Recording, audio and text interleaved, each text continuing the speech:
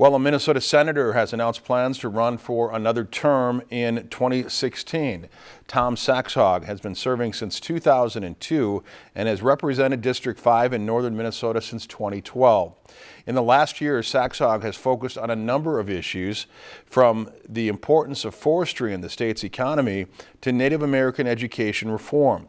He says the achievement gap between Native Americans and other ethnic groups has been a major point of emphasis.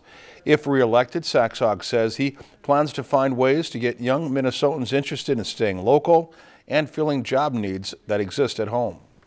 We have to make sure that people are, and, and children and students are counseled towards the end of their high school career as to what they want to be doing after they graduate. And not everybody needs a four-year liberal arts education. Uh, this rural Minnesota right now needs uh, welders, we need millwrights, we need truck drivers, we need diesel mechanics, and we're, we're crying for those types of skills. Along with workforce development, Saxhaug tells Lakeland News that workforce housing would also be a priority for him in a new term.